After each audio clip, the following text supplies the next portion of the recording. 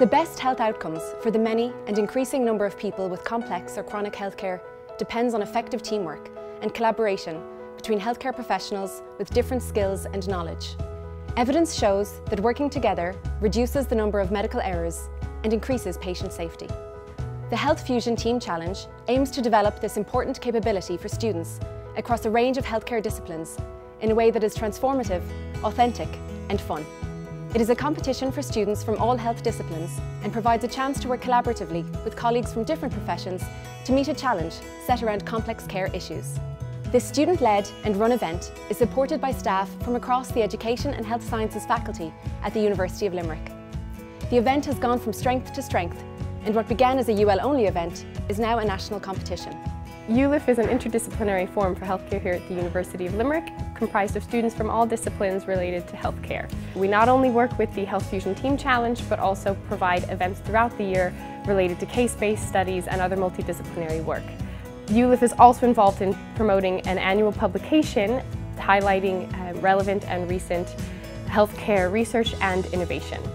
This year, we have students from a wide range of disciplines taking part, including medicine, nursing, speech and language therapy, occupational therapy, dietetics, physiotherapy, psychology, pharmacy and dentistry.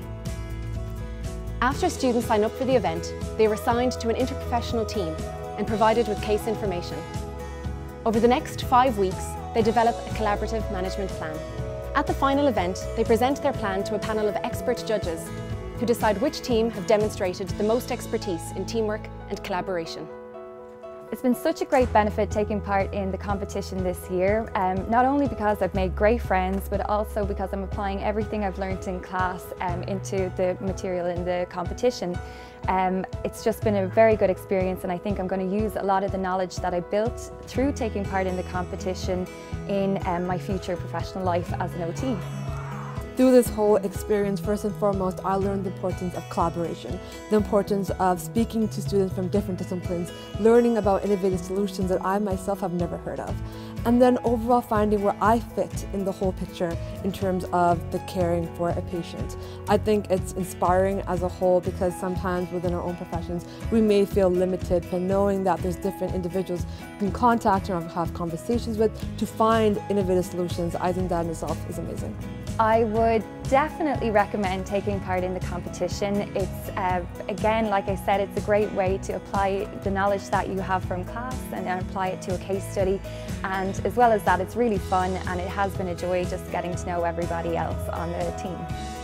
I would definitely recommend this opportunity for anyone who's interested in the field of healthcare. Um, I think it's a fabulous opportunity to learn about the potential solutions there are for a patient, learn about the different professionals that you can speak to and collaborate with to ensure that your patient receives the best care possible. Uh, delighted to be here at University of Limerick today supporting the ICON Health Fusion Challenge for the second year uh, in a row. Uh, we've just come from the session where 20 students from four different universities presented on the topic of collaboration in healthcare as a global contract research organisation uh, operating in 37 different countries, uh, collaboration is very much at the heart of what we do at ICON and is one of our core values. So we're delighted to support the event today.